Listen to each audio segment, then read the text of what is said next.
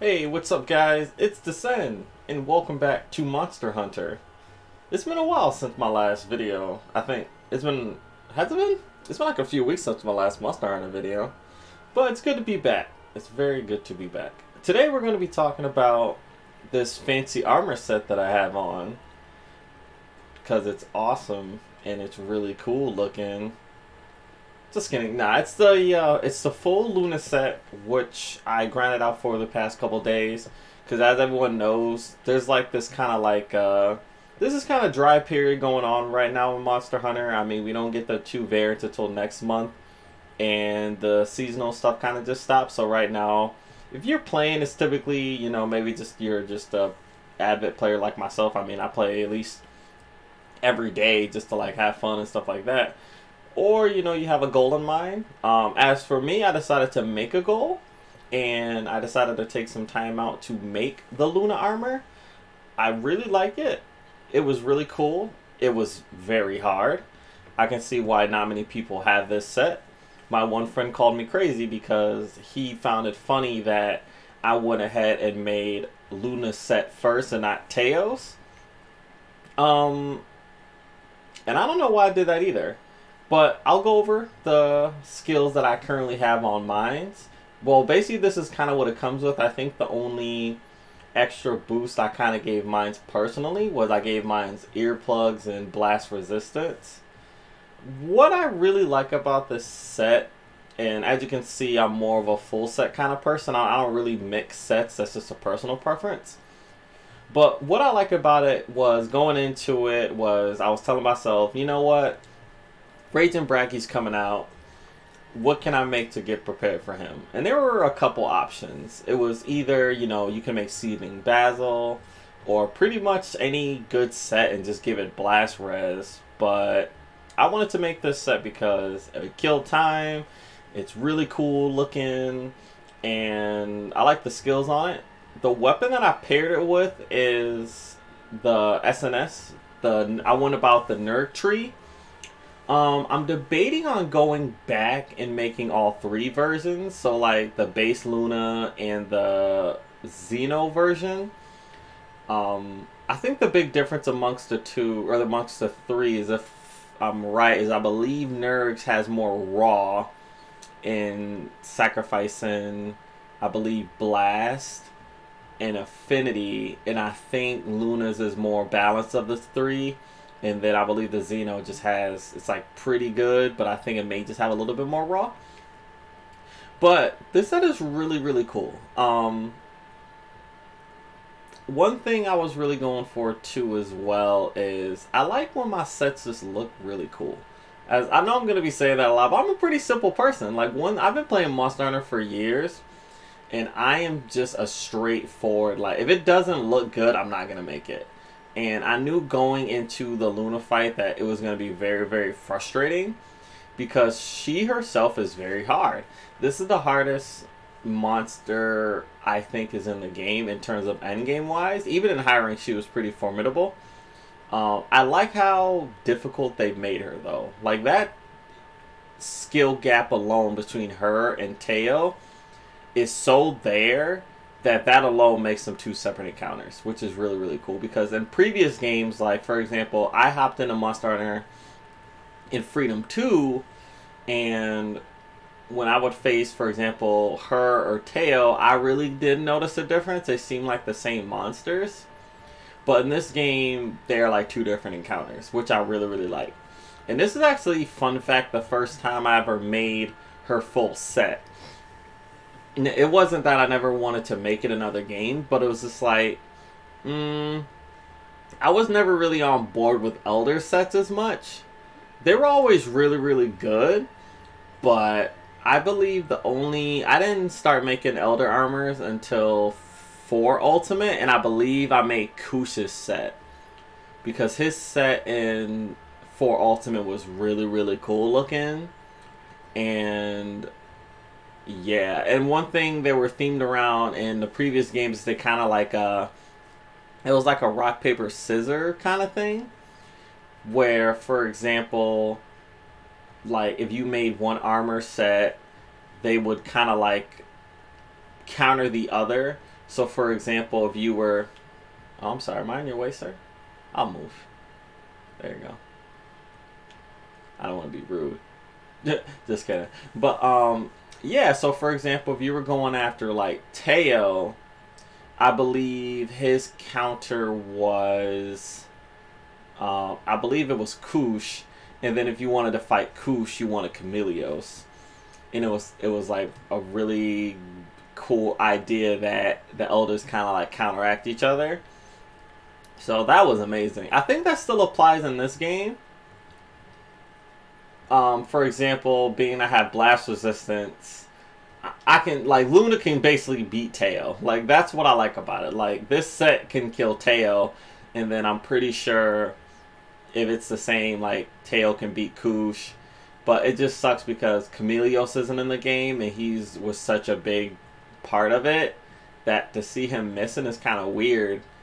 Um, I really hope he gets added because he would definitely be uh, Koosh's like kind of crutch because uh, Chameleos armor gave you like wind resistance, and I believe they even had specific perk names named after the monster. Like it would say something like anti Koosh or anti Tail. Like it was, I'm just like that's actually really cool. Not only is it an incentive to make the armor if you're gonna go after these monsters, but they're big safety nets. Like hey, if you make this, like you'll be good against X Y Z now, what a, um, wow.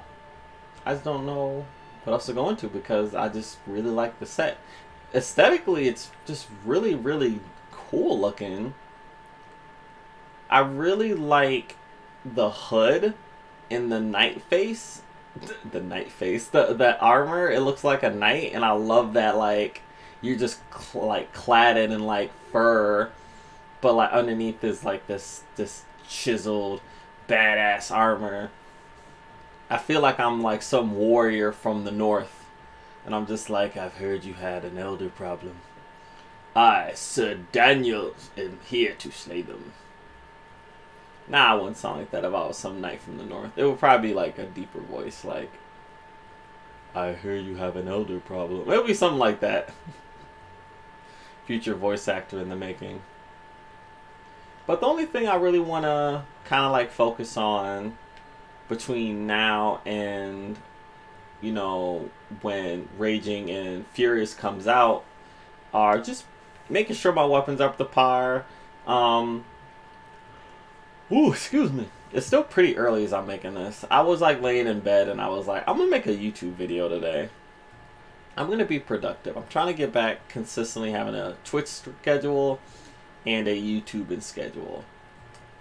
The future videos I have in mind are I want to do videos like this going over individual armor sets because personally I just like full armor sets. I don't like making milk like almost said milk sets. I don't like making mixed sets and things like that. I just like the the look of a full armor set. It says something about the player, I feel like. It says like you dedicated a lot of time to one monster and that's good. Monster Hunter was always about reflecting and basically showing off your skills and the armor and gear that you have.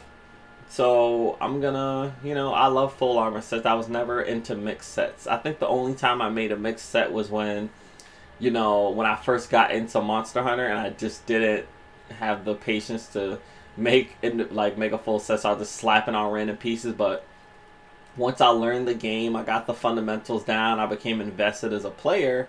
I said, you know, full armor sets need to be a thing.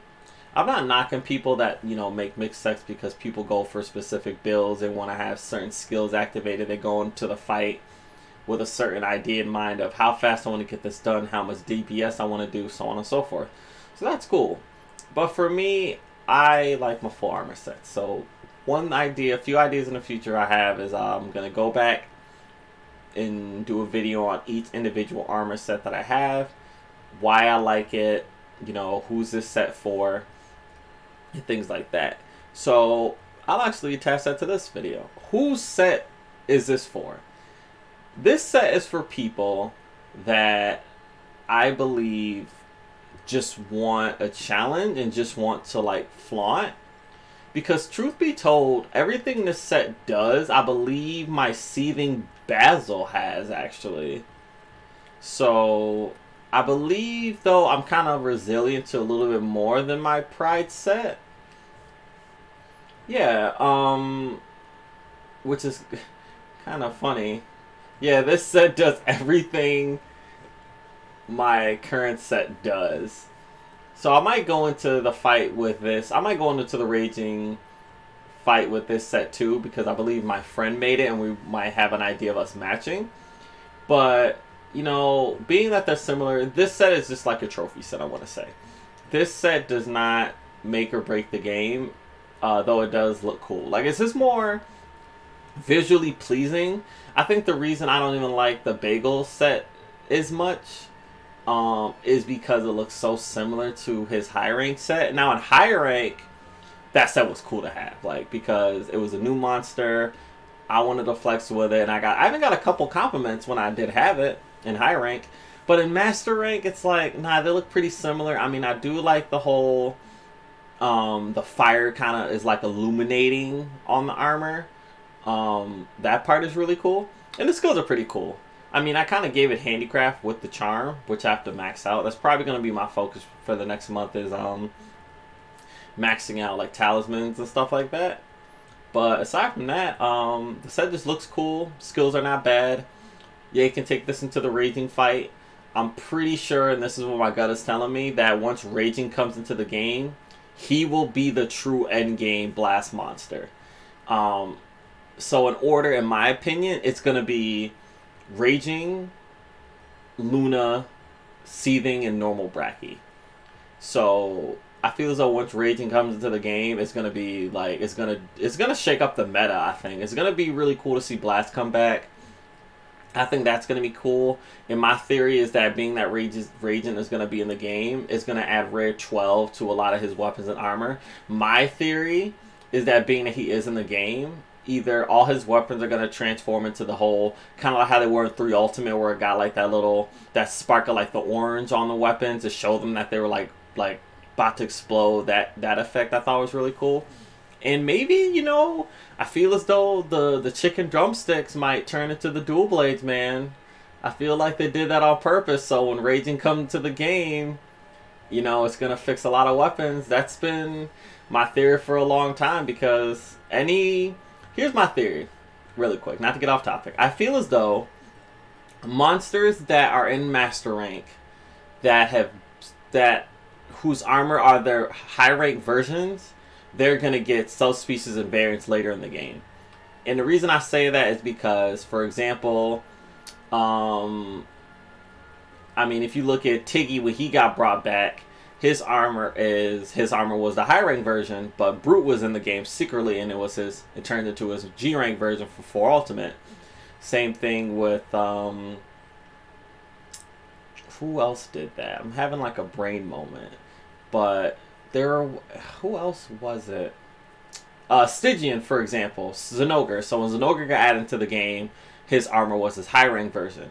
They added Stygian, it became the G rank version well, they chose the they chose the three ultimate G rank version, not the four ultimate version. They were like they were they updated it because in four ultimate his high rank version became what the master rank set is for Stygian in this game, and they gave it a whole new design, which is really cool.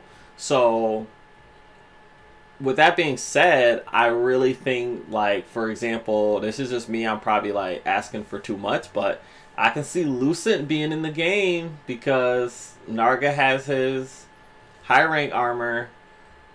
That's just me. Lucent would be a really cool fight. I think a lot of people really like Lucent. And if he's kind of like Silver, and like he fights and he'll stay in like a secluded area, or if they can bring back like the tower, um, that would be awesome. I would like to see Molten at some point, maybe. Molten can kind of get a pass. Um, but if Molten gets added, that's another endgame bl uh, blast monster they can do. But yeah, man. Uh, and they already announced in the timeline, fan favorite is coming back in May. They're gonna announce the future of Iceborne later. Um, and if they just keep adding more master rank content, so none of this stuff becomes obsolete in the future, like they just keep making it a master G rank experience, kind of like how uh, Frontier and stuff was. Um, that'll be dope. Like, make it so like, hey, this Master Rank stuff I made a year ago still relevant. I think a lot of people would like that. I would, I wouldn't mind buying another expansion if it's gonna add more G rank content. That would be really really cool. Uh, what I would like to see the next Iceborne expansion themed around. I would like to see a Black Dragon um, themed expansion. I would like it a lot. I will be really, I will be so down with um, the bosses being Black Dragons like Dire Miralis, Fatalis, uh, the the crew coming back. I think that would be a really cool concept. That would be really really cool. But yeah, that is my thoughts on a little bit of everything in the Empress. So more of the story. This this set, it's cool. It's a more of a trophy set. If you want something quick that has blast res, just make Seething Bazel, put blast res on one of your favorite sets or something like that. But other than that, I like this set a lot. It was really challenging to make. I had to fight a couple uh, tempered Lunas because those was the only quests I could find people were in. I unfortunately didn't have the quest myself. I had to like get lucky and get some SOSs in, but uh, you know it went perfectly fine. Like you know even if it was like a a tempered, I kind of didn't complain. I was like, hey, this isn't my quest, so I'm just grateful the person kind of let me join in.